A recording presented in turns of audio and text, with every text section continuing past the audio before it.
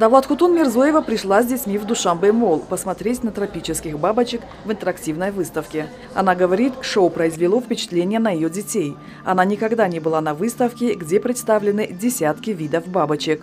Если честно, я не заходила сюда, дети зашли, им рассказали про самую большую бабочку, про маленькую, э, кто где обитает, все рассказали, им интересно было.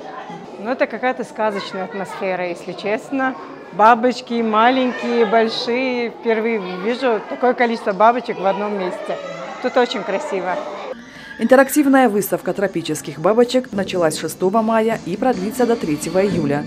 Помимо самой выставки, на территории 10 различных зон для детей. 3D-фотозона, VR-зона, зона проведения научных шоу и мастер-классов. Ну-ка, где здесь бабочка-вампир? Ну-ка, какая интуиция у вас? Бабочка-вампир. На выставку в Душамбе привезли 300 видов бабочек из разных стран мира. И каждый день десятки видов выставляются на всеобщее обозрение. Наверное, самая интересная бабочка – это павлиноглазка атлас. Это очень большая бабочка. А, Ее размах крыльев достигает около 30 сантиметров – и также эта бабочка интересна тем, что эта бабочка никогда не спит, это первое, никогда не ест.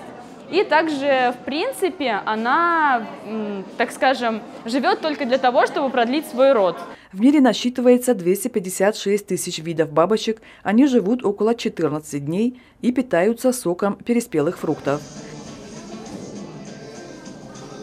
Тут красиво.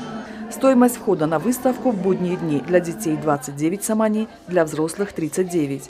Выходные дни для детей 39 самани, для взрослых 49.